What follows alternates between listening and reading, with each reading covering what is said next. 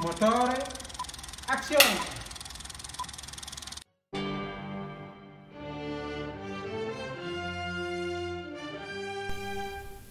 Le recensioni cinematografiche del Ganzino.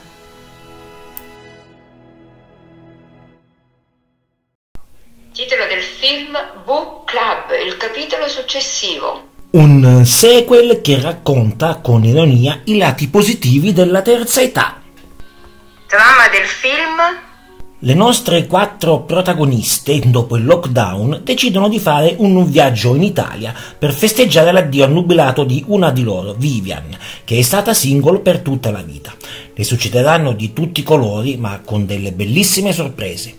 Film di genere commedia romantica, dura 1 ora e 45 minuti, in programmazione a Pisa presso la multisala Odeon, visto giovedì 11 maggio 2023 alle ore 19.10, proiettato in formato panoramico e senza interruzione.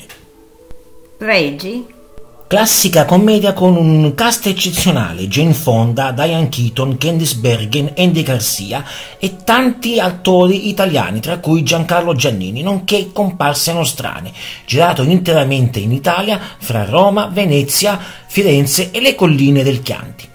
In questi luoghi si svolgeranno le avventure e disavventure delle protagoniste del sequel del primo film del 2018. Il trascorrere della terza età raccontato con ironia, garbo, divertimento e un pizzico di caccia all'uomo, che potrebbe ricordare alla lontana il famoso Sex and the City, mantenendo però l'originalità della trama. Il finale bellissimo non credo faccia presagire un altro sequel. Stroncato dalla critica online che ritiene che in questo film l'Italia è malamente rappresentata e non si dà risalto alle bellezze artistiche, bensì ad una Disneyland per turisti facoltosi. Personalmente non ho visto tutto questo, bensì un gioco di ironia sul savoir-faire del maschio latino, il classico Latin lover, con lo sfondo le canzoni classiche italiane e moderne, che sono tutti elementi di vantaggio per il nostro bel paese, datosi che il film viene visto con piacere negli USA e in tutto il mondo. Ancora una volta chiedo a questi critici online, ma perché non vi spogliate di quella serietà offuscata che vi acceca? E poi, ma siete sempre sicuri di aver visto questo film? Scusate, ma quando ci vuole, ci vuole. Difetti. I difetti di questo film mancano dal primo all'ultimo fotogramma. Valutazione finale complessiva.